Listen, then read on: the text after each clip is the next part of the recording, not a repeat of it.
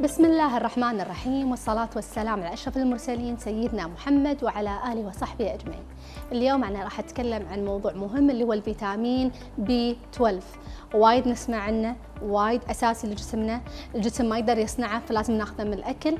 المصدر الأساسي حق البي 12 اللي هو اللحوم والدواجن والسمك يكون اللحوم يعني حيوانات. هي أساس حق البي 12 طبعا ليش أبي أتكلم عن البي 12 وشنو أهميته؟ البي 12 أساسي حق ال DNA synthesis إنه تكوين جينات الجسم والتركيز عندنا كله محتاج ال DNA وأي عمليات تصير في الجسم من الهضم من أي شيء لها علاقة بال DNA وهذا أساسي البي 12 وياها. الشغله الثانية والمهمة حق البي 12 إنه هو أساسي حق الأعصاب فاللي عندهم مشاكل في الأعصاب، عندهم مشاكل في التركيز، عندهم آلام في الأعصاب، هذا كله يأثر إذا كان عندك نقص بالبي 12. شغلة مهمة البي 12 أساسي حق العضل وهذا مهم. أه ولاحظوا وليش قلت لكم أهميات البي 12 الناس تنسى إن يحطون ببالهم إن النباتيين هم صحيين وما يدرون إن البي 12 مو متواجد بالنباتين فيضطرون إنه ياخذون supplements ياخذون حبوب بي 12 وأنا اخصائي التغذية دائما ضد الحبوب إذا جسمك يعني الحبوب كثرتها تعب الكلى لأن قاعد تاخذ dose عالي ما قاعد تاخذها بطريقة الأكل انه يكون معاها بروتين معاها أكل إن جسمك يمتصها بطريقة سليمة ولكن لما تاخذها ب supplement تاخذها بحبوب قاعد تاخذ نسبة عالية من البي 12 راح يأثر معانا بالجسم فديروا بالكم من هالشيء هذا ودائما تابعوا أخصائي تغذية. سووا تحليل دم تابعوا البي 12 طبعا في ناس يصير عندهم نقص بالبي 12 اللي عندهم نوع من أنواع الأنيميا يكون له مشكلة بالبي 12 اللي عندهم مشاكل في المعدة. مشاكل في الحموضة عندهم مشاكل إن ياخذون أدوية حموضة وهالسوالف دائما عندهم مشاكل إن البي 12 يكون نازل وياهم. اللي عندهم مشاكل في المناعة مثل ال lupus إن هذا شيء هم يأثر إن عندهم نقص بالبي 12 ولازم إحنا نتابع هالشيء. حتى الناس اللي عندهم مشاكل في الأمعاء منها السيرياك منها ال Crohn's عندهم هم دائما نقص البي 12 فدائما حاولوا إنكم تتابعون البي 12 كثر ما تقدرون. الناس اللي أعمارهم كبيرة فوق ال 50 سنة دائما عندنا الأحماض اللي بالمعده تقل فالمادة اللي تساعد على امتصاص البي 12 اللي تنفرز في المعده راح تقل فدائما الناس اللي كبار بالعمر نحاتي البي 12 كثر ما نقدر. شغلة ثانية بعد والمهمة حق الناس اللي مسوين تكميم، حاطين حلقة، حاطين بالون الكبسولة، هذا دائما يأثر علينا على امتصاص البي 12 فديروا بالكم يا جماعة حق الناس اللي مسوين عمليات يراقبون البي 12 دائما أنصحهم إذا أنت عندك مشكلة في المعدة أو الأحماض إنكم تاخذون الإبرة البي 12 مو تاخذون الحبوب لأن هالشيء هم يمكن جسمك ما يمتصها مو كثر لما أنت تاخذها بالإبرة تضمن إنك أنت خذيت نسبة البي 12 بطريقة سليمة. حق النباتيين وال vegan حاطين بالكم إنكم صحيين نقص البي 12 هذا قاعد يأثر معانا بالتركيز يا جماعة، صح أنتم قاعد تاخذون خضرة أكثر وأنتم قاعد تاخذون مضادات. مضادات أكسدة أكثر ولكن ما خذيتوا الشيئين الأساسيين للجسم اللي هو البروتين الحيواني اللي فيه نسبة عالية من الحديد ونسبة عالية من البي 12 جسمكم يساعدكم على النمو ويساعد الجسم على المناعة وتقوية المناعة. ولكن إذا انت صرت نباتي 100% أو vegan، ال vegan بعد مرة واحدة اللي ما ياكلون حتى منتجات الحيوانات منها حليب، منها بيض، يبتعدون عنها مرة واحدة، وفي ناس يكونوا نباتيين بس ياكلون سمك، فهم هذا؟ okay أنا راضية فيه بس حطوا بالكم إن السمك في نسبة نسبة عالية من الزئبق فكثرته مو زينة مرة مرتين في الأسبوع بالكثير مو أكثر عشان إحنا ما نأثر معانا بالزئبق.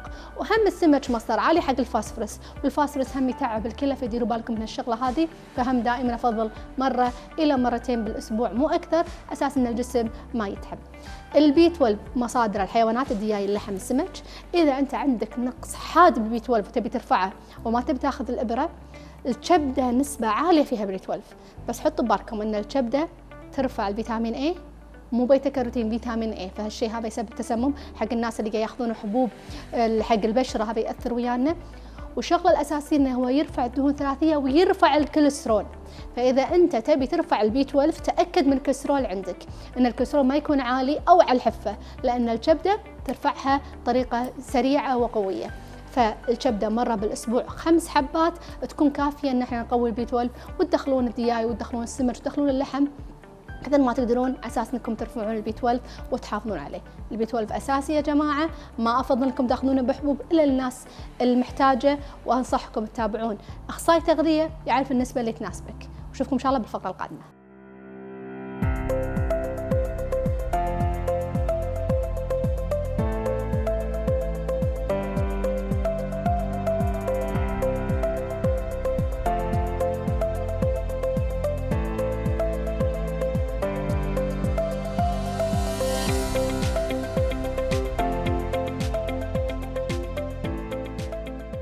رجعنا لكم وراح نتكلم عن عضو أساسي في الجسم اللي هو الكلى والأكل المناسب للكلى.